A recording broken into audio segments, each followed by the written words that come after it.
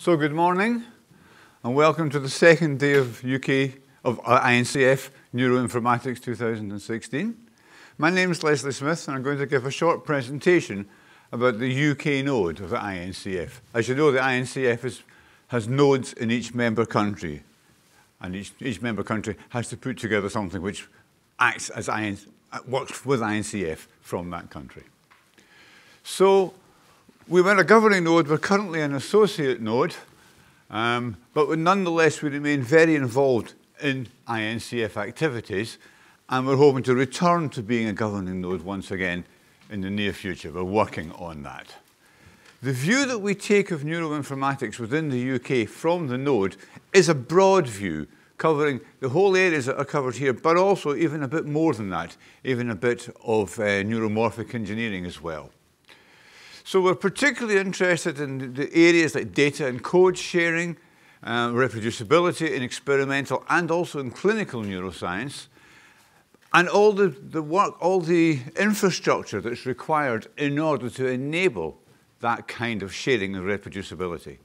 We're very interested in computational modelling, simulation activities, and there's a lot of work in those areas going on within the UK at all levels, ranging from the molecular right the way up to the kind of large-scale brain modelling. And in addition, we're also interested in neuromorphic systems. That's to say, neurally inspired engineering systems that take concepts from the brain and turn them into things you can really work with. So in this talk, I'm going to say a little bit about recent activities at the UK Node, give a few examples of work in the UK on neuroinformatics and talk briefly about future events, all fairly quickly. So in recent activities, unfortunately we failed to get any money out of the research councils for the last year or two, but our recent activities have been relatively curtailed as a result. But nonetheless, we held a full-scale one-day meeting in London on the 3rd of May, and we were very involved in the neuroinformatics social. We helped to organise the neuroinformatics social at FENS 2016 in a cold and damp Copenhagen, Copenhagen, a few weeks ago, a few months ago. So, so the London meeting was put together with funding from eFutures, which is a group that works on kind of electronics of various kinds, and the Wellcome Trust, and brought together many different types of neuroscientists all the way from clinical to experimental to computational modelers to neuroengineers. And it was nice to put all these different groups together in the one room and to get them to talk with each other and to explain to each other what their particular viewpoints are on neuroinformatics because they do have rather different views of the world and it's important that they do talk to each other. We talked from different areas of neuroinformatics, all the way from clinical to neuroengineering and everything in between, and a very good discussion of ways forward. But one of the important things that came out of this meeting was proper collaboration with the British Neuroscience Association, which is the UK's organisation on neuroscience. And this goes back to, I think, the mid-1960s, so it's been around for quite some time. And we're hoping to become a special interest group of that particular organisation. Where does this go to? Again, probably.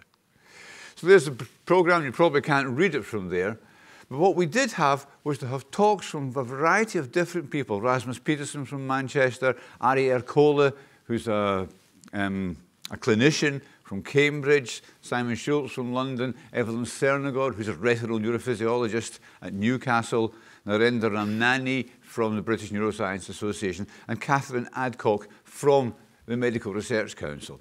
And then we had a lot of discussion and so on after that in order to work out ways forward for the UK node. And what we're trying to do basically is to reinstate UK INCF funding and to try to ensure that UK node has specific funds. At the moment, we're, we're putting things together on a point by, on, a, on a, an event by event, in an event by event way. There's lots of views as to how you should organize a node. Maybe we should be very broad and look at all aspects of neuroinformatics. Maybe we should be very narrow and concentrate on one particular area. And it's difficult to know what's best.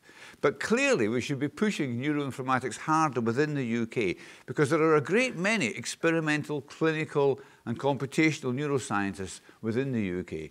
And it's important, as we've been seeing at this meeting, to work on things that enable reproducibility of results reinterpretation of raw data, sharing of data, sharing of analysis tools, and so forth. And that's very important. But we've come to realize that it's more important, it's important as well to work with other organizations like the British Neuroscience Association. The other event we had was the FENS 2016 Social, which was quite, quite an interesting event. We had some talks there and also just the ability to bring people together to talk and have a, a glass of wine with each other. And that again was about data sharing, code sharing, and sharing clinical data. We had a talk there from Centre TBI, which INCF is very involved in, and part of which is in the UK. And we had Stephen Eglen from Cambridge, David Menon, and Daisuke Miyamoto talking at that.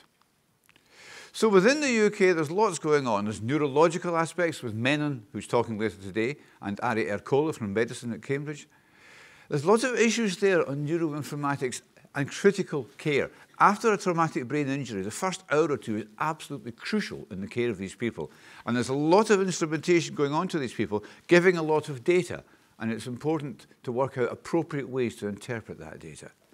Neural activity during natural behaviour from the Petersen Group at Manchester.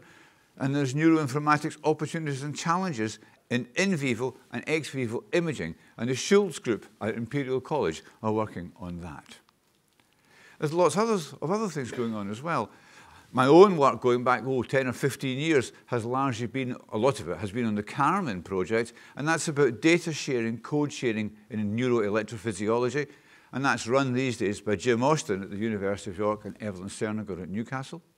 But there's also a lot of interest in neuromorphic engineering, and not just the kind of neuromorphic engineering that the Human Brain Project does, but also neuromorphic engineering, which is about sensory systems neuromorphic engineering, which is about analog-based systems. And Piotr Dudek at Manchester has been leading that side. Marcus Kaiser has been working hard and working on neuroinformatics on brain tissue excised from epilepsy, epileptic patients undergoing operations. And there's a lot of very interesting data there. And really, that kind of data is so valuable and difficult to get that it behooves us to share it to as great an extent as possible neurocomputational modeling in psychiatry. Peter Dayan was talking about that yesterday. And there's lots of other examples as well of related work going on in the UK. So NeuroML is one of the major pieces of work that's been happening there. Um, and that NeuroML is really about ways of um, producing descriptions of data, and that, and that underlies the ability to share the data. And it's open source, has contributors from around the world, and models from Allen, the Blue Brain, Neuro, and, and so on. Neuromorpho is converted to NeuroML as well. Open source brain is another thing of the same type, and that's been pushed by the Silver Lab at the University College London and funded by Wellcome. Again, it's largely Python-based, Python and NeuroML, and it's giving ways that allow people to share data and to share analysis tools because it allows them to hold the descriptions of their data in an appropriate and compatible form. And then there's work going on at the University of Sussex, GENN we heard about yesterday, there's the Green Brain Project, and of course there's quite a lot of work going on in the UK on the Human Brain Project. In terms of future events, things that are coming along, well, David Willshaw is the person who originally set up the UK node, and he's going to receive the third Braitenberg Award for computational neuroscience, and that will be presented later this month at the Bernstein Conference in Berlin. One thing that came out of our May meeting and the collaboration with the British Neuroscience Association is that we are now organizing a neuroinformatics symposium at the forthcoming BNA Festival of Neuroscience in April 2017 in Birmingham in England. And we're also working with the British Neuroscience Association to form a special interest group on neuroinformatics within the British Neuroscience Association. We're hoping to launch that officially at that BNA 2017 meeting, and we feel strongly that that will allow us to connect much better onto the UK National Neuroscience community. And of course, the BNA is also itself allied to FENS and to other international neuroscience associations. So it gives us a way of connecting the neuroinformatics work in the UK better onto the international community. Thank you very much.